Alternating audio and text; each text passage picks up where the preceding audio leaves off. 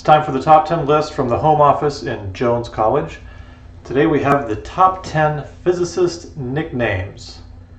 All right, so this means there's a lot of famous physicists out there. There may be stories about them. As you can imagine, these were their nicknames. Okay, here we go.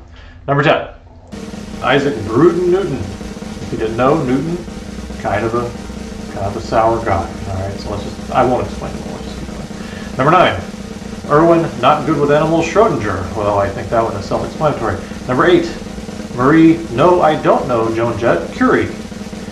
Number seven, Richard hates nicknames, Smalley. So uh, Rick Smalley was my thesis advisor when I was getting my PhD here at Rice. He's the buckyball guy, and I know from personal knowledge that he did not like nicknames.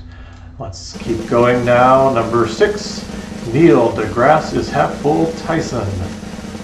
Um, number five, Thales. Oh, nicknames not invented yet. Yes, that was thousands of years ago. Number four, See the Light, Venkataraman.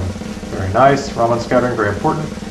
Number three, Michio two Kaku. I don't know if you know this, but uh, Professor Kaku delves a little bit in the old alien autopsy arena when it comes to uh, TV shows. Anyway, we all, you know, we all gotta eat. Uh, number two, Albert poster child Einstein, and the number one physicist nickname is Stephen Tick-Tocking Hawking.